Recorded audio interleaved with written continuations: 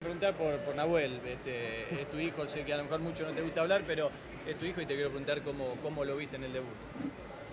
Lo vi correcto, como a los otros dos chicos que, que hicieron su debut hoy, tres, porque en el segundo tiempo entró, entró Ferreira y si bien no era fácil, bueno, le tocó un partido complicado y, bueno, le va a servir para como aprendizaje, ¿no? Eh, bueno, era un partido fácil, fue un partido correcto. Una pregunta muy egoísta, pero como papá, volviendo al tema Nahuel, ¿te pusiste a pensar que, te diste el gusto, eh, que, muy pocos técnicos se dan, que, en un partido oficial pudiste ver a tu hijo jugar y dirigirlo?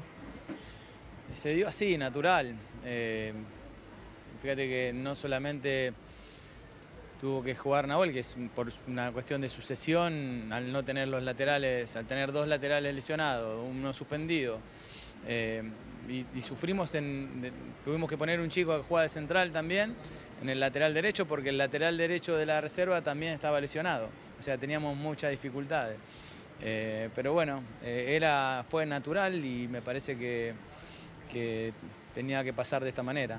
No, no había otra forma de que suceda. Sin embargo, creo que hoy separé lo que es ser padre de entrenador durante todos estos días. Eh, mañana volveré a ser padre nuevamente, pero hoy era, era entrenador. Digo, a Eso justamente, digo, ¿cómo, ¿cómo haces? Porque la verdad que hoy estaba tu papá, bueno, te vi a tu familia que estaba también, vinieron todos a ver el debut de, de Nahuel, del nene, ¿no? y vos decís, tengo que separar el, a lo mejor el sufrir por tu hijo y, y poner, anteponer al técnico. No, no, eh, por eso, no, no, no me pasó eso porque tu- tuve la suerte de saber separarlo, por cómo le- me estoy expresando. Fue, fue una, cosa natural en la cual en ningún momento me puse a pensar en el rol de padre.